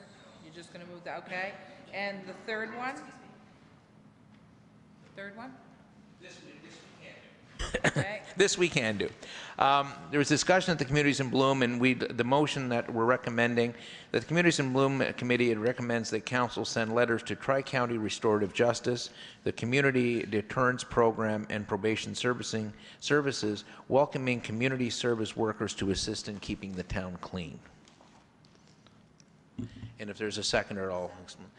The, some of the committee members brought up yesterday to assist with town staff. We do have a number of community service orders that are issued by the courts, and it might be nice if maybe some of these individuals may be attached to the town somehow to assist. And I know Councillor Mooney and Councillor Dennis are members of the committee. They may want to chime in, but it's pretty well just a request to them to see if they would consider assigning some to our staff. good? Moved and seconded? Any discussion? Questions been called? Oh, sorry, go ahead. And that, and that was brought uh, forward by Dave Solis, who's an educator and has worked with, uh, worked within the system and along with some help from the chair of the Communities in Bloom. I think uh, it's a question that's posed to you almost uh, every month about, uh, about youth or anybody else doing damage to public property, especially we had the damage here last year with the garbage cans and the receptacles that were smashed and obliterated. Um, how we can make citizens more accountable, and I think this might be a step if we can just give a little nudge to the people that are in positions of making these decisions to maybe uh, help, help them get on a little better, straighter path. Good? Okay. Questions been called? All those in favor? Contrary? Motion carried. We've got additions. I got a mayor's report, and it's very short because we covered most of it. And Tina, it'll be a little bit longer for you when you, when you get it. But as I read this, the Nova Star is about 50 miles offshore and will dock here tomorrow at 9 a.m. That's Friday morning. We all share in the excitement of another tourist season, and while the docking of the ship should serve as a reminder of the hard-fought battle to see the service returned and the damage done in the four years without the service, that in turn should cause each and every one of us to step up any way we can to ensure our visitors know just how important they and the service is to us in Yarmouth and to the entire province. The fight isn't over. There's been much heated discussion over the past year with regard to the ship, and as the provincial government is committed to both the service and to watching this year closely with a plan in mind, it's important that we continue to put our best foot forward this season. And our best foot is certainly showing up on Main Street. A drive from Yarmouth South through the downtown reveals a great deal of work being done. The facade program's in full swing with a number of businesses making improvements. The half million dollars given by the federal government for our downtown revitalization will be put to good use very soon as the streetscape through bump outs and more will start to evolve. Hawthorne Street improvements are ongoing and should be completed over the next couple months. And if you head to the farmer's market on Saturday mornings, you'll have a first-hand view of all the work being done there.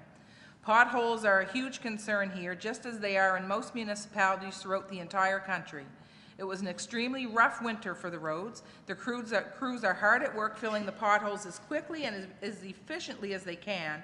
And I might add that they are not starting at one end and going to the other. Instead, they're covering roads in all areas of town as they come by the, uh, the areas of biggest concern. It's important that we're patient as there's much to be done and more so that we're thankful for the, all the hours the teams are putting in. Lisa snow's gone for a few months. Some may have noticed the lake level is quite low at, at Milo. The anticipation of higher rainfalls, which didn't materialize, uh, meant that the dam was lowered. What is important to note is that it's Gaspereau season, and we understand that, and the town will be pumping water down the fish ladder to facilitate climbing as the tide rises, ensuring the fish can follow the natural process and finding their place to spawn. So that, that will take, it's actually taking place now. Teams with the All Hands on Deck initiative have been quietly making plans over the winter months, and within the next month, you'll see activity from a number of these teams. If you're looking to help with painting, murals, flower gardens, and more, don't don't hesitate to contact me. And actually, what happens with some of these teams is um, Counselor Dennis has a group that, that some of these people go to. Uh, Counselor Langell has the Communities in Bloom that a lot of people uh, end up taking part in, in various activities. This community always steps up in a big way when there's work to be done, and thanks to all of you, we won't lose our momentum. I also want to mention that uh, May 17th to 23rd has been declared VON Week, and thank you, Councillor Dawes, for bringing that to my attention. Uh, Councillor Dawes and I were just at uh, Beacon Church this evening, where Suzanne D'Entremont um, was actually celebrated for 30 years' work with the VON. So it was, it was a really great evening. So we celebrate and, and thank the VON certainly for their work in the community. Finally, this evening, the budget was passed. Uh, all the information, I think the CAO went, went over, uh, except for also within the, the budget, we are funding a new bus service that will start in the fall. We're funding the Main Street facade program, have new grants for heritage properties. The streetlights have been converted to LED, which converts to a saving in excess of 75,000 a year. As well, uh, our Harbor South Medical Clinic is fully staffed, which reduces the town's costs. Having the high school pass to us uh, will cost us an extra 125,000 per year to maintain, but we are certainly in the process of finding appropriate uses for that building. That's ongoing. We also signed new intermunicipal agreements, which change the, changes the joint funding agreements, which is good for all partners. And, and with regard to the budget, I can say this bluntly, there's not a lot of wiggle room in this year's budget. I think everyone at this uh, table understands it. But, but I guess the upside to this is that we always continue to look diligently at everything that comes across our desk, and sometimes we have to say no. But we, we consider everything, uh, understanding that everything costs money, and there are a lot of things to take into consideration. We're looking forward to a great summer with the ship and the visitors and lots of work. We're all thankful that the snow is gone, the sun is shining, and of course, we wouldn't want to be anywhere else but Yarmouth, on the edge of everywhere. Short and sweet. Longer for you, Tina. Go ahead, CAO. Your worship, just, I, I want to just clarify one, one small point, Yep. and that is around Hawthorne Street. Yes. That project should be complete within the next two weeks. Two weeks? Two weeks. Whoa, that's amazing, because we were looking at three months. Yeah, so they're doing, they're doing great work, and I was on site uh, just today, and the, uh, s- uh, the- the foreman on the site uh, confirmed that two weeks is the timeline, so.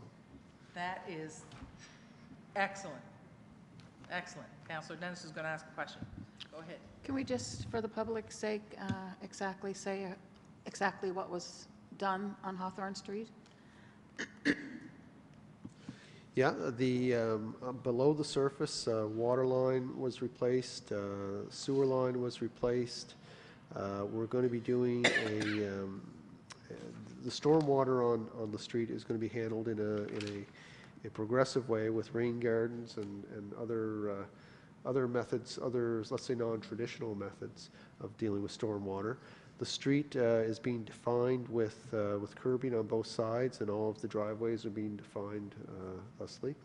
There will be sidewalks on both sides of the, of the street, and there will be a, a, a, I guess I would say a cobblestone pedestrian area immediately in front of the farmer's market. So for, for pedestrians and people uh, looking to congregate uh, on the street uh, when the farmer's market is open, I think that'll be a nice amenity. Uh, believe there will be trees and perhaps some street furniture as well. So it, it, when it's done, uh, the street will be better defined. It is not a wide street, so it'll be a slow traffic street. And they've actually added uh, a little bit of uh, curvature to the street, uh, so it won't be just a straight shot down Hawthorne, but it'll actually be a couple of gentle, gentle curves in it.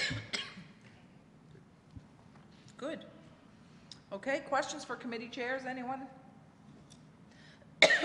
Excuse me, Counselor Mooney? Yeah, and, and we have the boat coming in, and I hope everybody goes down to see it tomorrow, but um, I just want people to go down and look at Scotia Garden and the job that they've done in front of that facility. You would not believe it's a, a fish plant, but I think we need some of that tender, loving care at the terminal too, because it's Yeah. not, you can see what Tim can do. Um, I think we need some painting.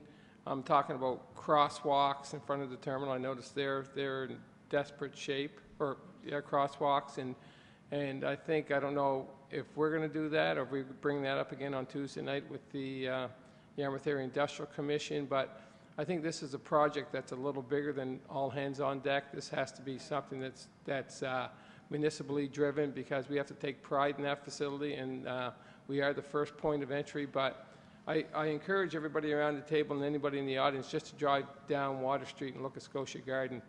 Mr. Kaiser and his crew have done a fantastic job. Yeah. Hmm? Certainly. Go ahead. Yeah, I ju- I, wanted to comment on that because I, I had the opportunity a couple months ago to, to meet with Mr. Kaiser, and I, I commended him on the, on the work that, that his employees do every year on, on the property out in front, and he explained it to me, and he said, you know, we're, we're in the food processing business, and it, we take a lot of pride in, in our cleanliness and, and how we, how we handle people's food. And, and he said, we think that how our building presents on the street is a reflection of how we care when we do our work. And so that, that's part of their, part of their brand and part of their message to the community is how they look after their property. And I think it's, it, it, it's well noticed, yeah. Absolutely. Counselor Dennis? I just have a question on who's responsible for the flag at the terminal? Uh, If it's on the property, then it would be uh, the, the the lessee, or lessor, Please, be Nova Star. Okay. It's just because the flag that's flying there looks pretty terrible. Okay? you And we can- have the ship coming in tomorrow. And plus also, it's been brought to my attention about the flag here in front of um, the cenotaph, that it's, the Canadian flag is just hanging there by one end, which looks terrible. Ooh, Okay, So if we could get those fixed up, maybe? sure. Can we do, we have to do that ferry terminal before tomorrow, mo- well, they're just coming to pick up staff, but they'll be here for a week. Okay? Additions. Fire department, tender, pumper rescue. All those in favor? Right, chief?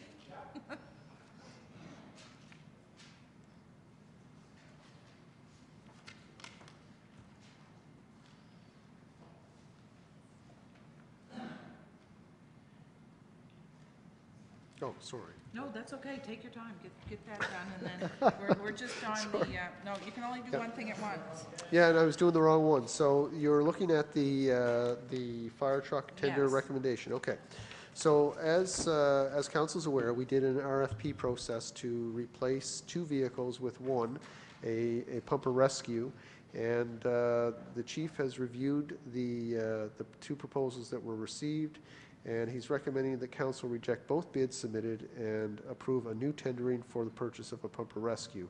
And uh, we, I support that recommendation. I believe we can get uh, uh, more competitive bids and better value for money, uh, or clearly more value for money uh, through redoing the process, so that is for your consideration.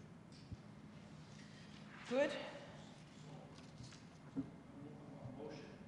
Yes, motion.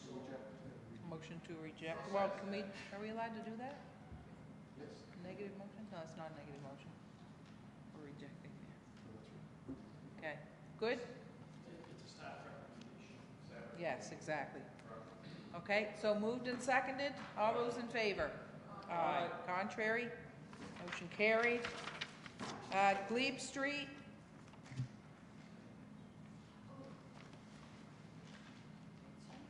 Counselor Dennis? I was just wondering about the uh, Glebe Street report, um, when, uh, if we could get a copy of that report. Thanks. Good.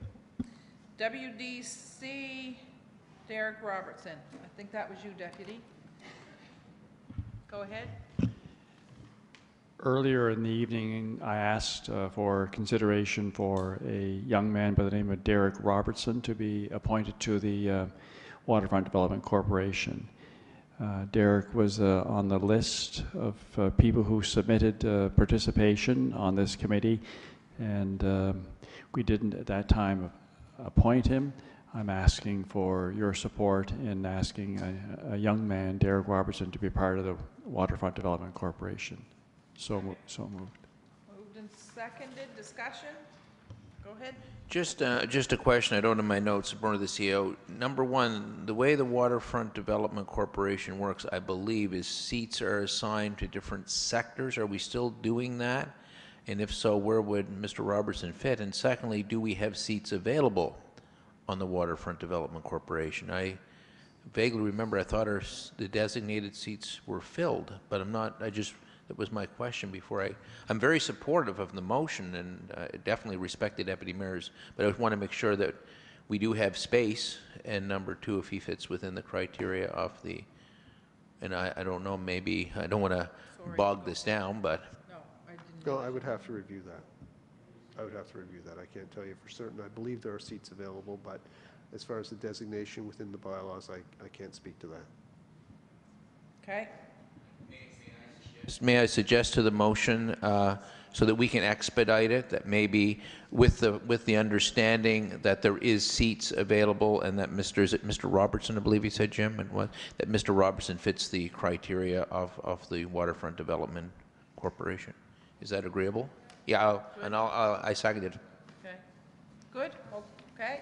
Question's been called. All those in favor? Aye. Contrary? Motion carried. Counselor Dawes? Congrats and acknowledgement. Go ahead. Yes, thank you, Your Worship. Um, No motion here, I just uh, wanted to share an observation, and also I wanted to comment on something that I believe is very important. Um, Oh, are you okay? I thought you were... Okay. Uh, I know I, as a counselor, this is choking him up. Hope he's all right. Ah, I know I, and you're cracking up. What is so funny? We don't know what the motion, we don't know what the, There, there is no motion. Yes, I can, I can feel your gentle gaze right across the room. Uh, Now, I know I, as a counselor, I feel proud that we're making progress towards Yarmouth's business renaissance, and there are signs all over the place, everywhere. There are new businesses opening, new facade program that started, that's exciting, and of course, the boat's returning. But I'd like to point out that Yarmouth was built uh, by small businesses, and it continues to grow through small business men. In fact, um, all across Canada, the small business is the financial backbone, the economic backbone of not only the country, but our town. And one uh, business person in particular, uh, he's just recently celebrated his 25th year here in, in, in, uh, in business in town, and that's Roland Fitzgerald. There is a man um, uh, on, on, uh, on Pleasant Street. He was there for many years, and uh, he's back again. Now he has top-line sales. But uh, in aggregate, he just put a full 25 years of, uh, of business under his belt here in town.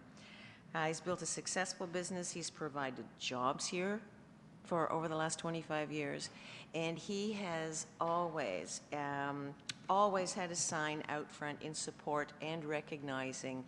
Uh, You always knew what was going on in town, because he, he always had a, uh, a little sign of, of recognition for, for local events going on. Uh, So that is why I brought this up. I just wanted to acknowledge that and to congratulate him for 25 solid, successful years in business here in town on Pleasant Street. Thank you, Your Worship. Thank you very much. Congratulations. Yeah, that's great.